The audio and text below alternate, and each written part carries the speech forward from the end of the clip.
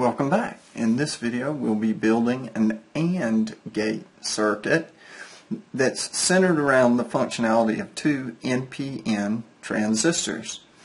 Recall that the input-output table or truth table associated with an AND gate reads as follows. Whenever input 1 is low or 0 and input 2 is low or 0, the output should also be 0. That's the state this circuit's currently in. Input 1 is low, input 2 is low, and lo and behold, the output is low. We can look at the second row in the truth table where input 1 is low, input 2 is high. And the truth table indicates that the output should be low, and it is. Then we can move down to the third row in the truth table where input 1 is high, input 2 is low, and the output's low. And that's what we have here. And then the final row is the only case in which an AND gate outputs a high, or a true if we were talking in terms of true or falses. And that's when its first input's high, and its second input is high, then its output is also high. In all other cases, it emits a low. We can have the first scenario, both inputs are low, the output's low. The second scenario, first input's low, the second output's high, the output's low. The third scenario, the input 1 is high, input 2 is low, and the output's low.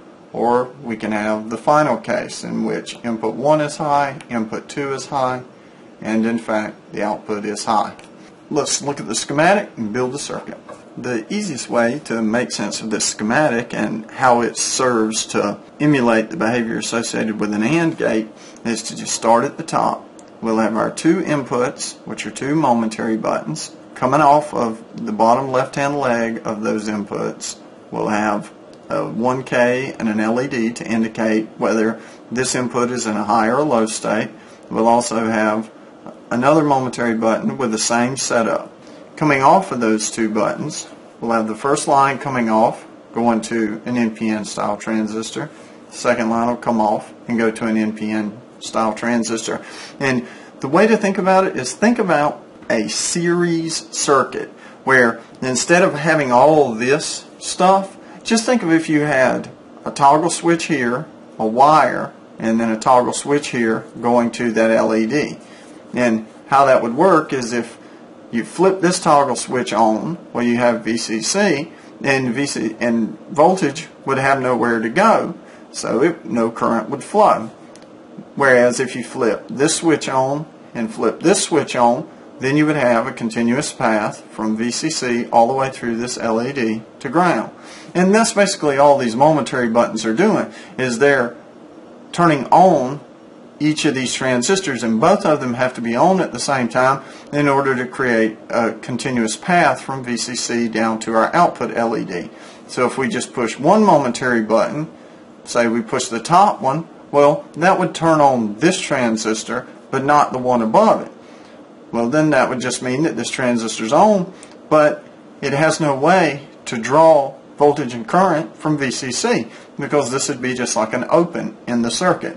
Likewise, if you just push this momentary button and leave this one open, then you would have VCC going down, turning on this transistor, but it has no way to get back to ground, so current doesn't flow. But in fact, there's a, a stipulation to that, or a qualification is a better way to say it, that when we push this momentary button and we turn on this transistor, Current does flow from VCC through the transistor through this 1K over to ground. And one might wonder, what's the purpose of this 1K? Why do we need it? Couldn't we be, do everything in this circuit without this 1K? Well, this particular way of building an AND gate is not ideal. You can build a better AND gate with two NPN style transistors with a PNP transistor hanging out there. And if folks are interested in that, I can make a video, we can walk through that as well. But if you use this setup, which is standard in many textbooks, you end up with some leakage current and voltage. And that's what this 1K is doing, is it's drawing away any of the leakage Like transistors leak current, even if it's just a little bit. Sometimes that's enough when combined with the transistor being turned on to light or barely light this LED when just one of the buttons is pressed. So the purpose of that 1K is to eliminate that phenomena, to cut out any leakage, basically to pull down the connection between the two transistors so that we only have this LED, the output LED, coming on when we want it, in no other cases. That's all there is to it. So let's build the circuit. At this point, I've just connected the left and right power and ground rails of the breadboard and connected the upper half of the breadboard to the lower half as well as I've added two momentary buttons into the board and two NPN transistors. Looking at our schematic, the very first thing we need to do is connect the upper right hand corner of both of our momentary buttons to VCC as well as on the left hand bottom left hand leg of each of these momentary buttons we need to have a 1K to an LED with the cathode side of that LED pointed to ground. We need to do the same thing on the second momentary button. Connect the upper right hand corner of our momentary button to VCC. Connect the upper right hand corner of our second momentary button to VCC with a piece of wire.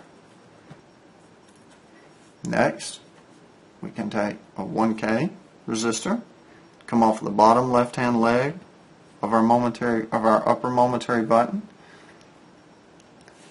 connect that resistor like that.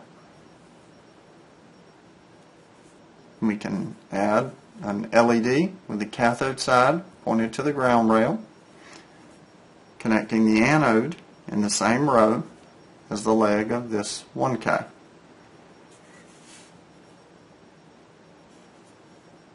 Like that. Repeat the same procedure with the second momentary button when it's finished. It should look like that. We just finished both of our inputs for the circuit. Now we need to run also off of the bottom left hand corner of each of our momentary buttons. We need to have a 10K and then a wire down to the base. 10K and a wire down to the base of the transistors. 10K. One leg of that resistor is in the same row as the bottom left hand corner of the momentary button and the 10K going down. We can do the same thing for the second momentary button. Have our 10K going down. Then we need to add two pieces of wire. We'll have a piece of wire from this 10K the leg of the resistor is at this row in the breadboard. We have the wire in that same row running down to the base of this second transistor, or the same row as the base of this transistor right there. We add a second piece of wire from this 10K to the base of this transistor.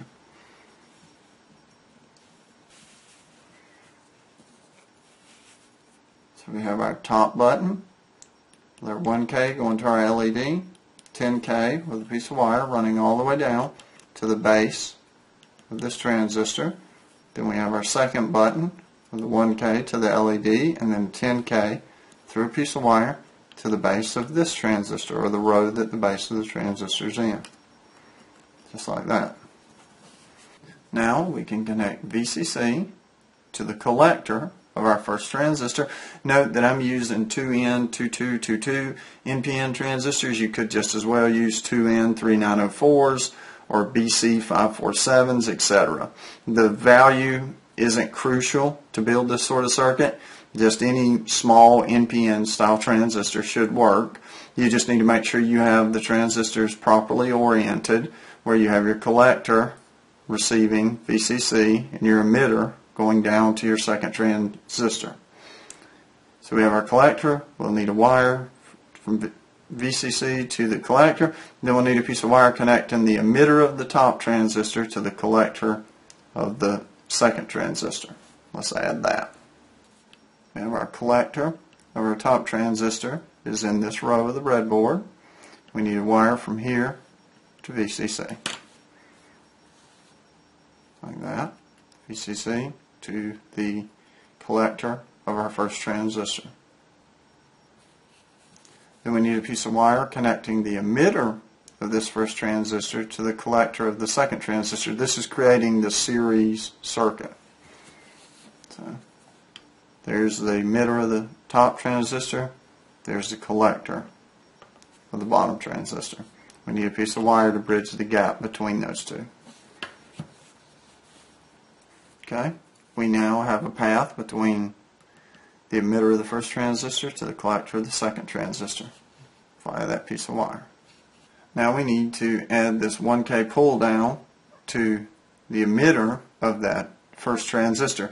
This will keep the output LED so that it'll only come on when we want it to come on, when both buttons are pressed. Otherwise, if you don't put this 1K to ground, that when you push the upper button, there'll be a little leakage current come through to your output LED. But if you put this 1K, it'll eliminate that problem. So we need to put that in. Here's our 1K. And here is the emitter, the row of the emitter for the first transistor. We need to put the 1K here to the ground rail. Just like that.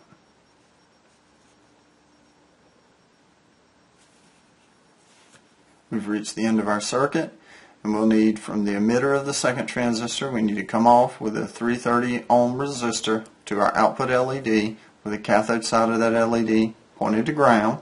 You could use a higher value resistor and you'd be fine.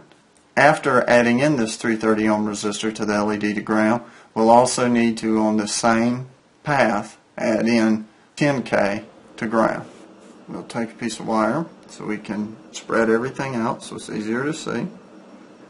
We just added a piece of wire in the same row as the emitter of that second transistor. Then we need our 330 ohm resistor, one leg of it connected in the line coming from the emitter over, and we add in our output LED with the cathode pointed toward ground. Short legs cathode, long legs the anode. So we'd orient it with the short leg and the ground row. The long leg is in the same row as this leg of the resistor. To finish up, we just need a 10K pull down resistor. In the same row as this wire off of the emitter and the same row as the leg of this 330 ohm resistor.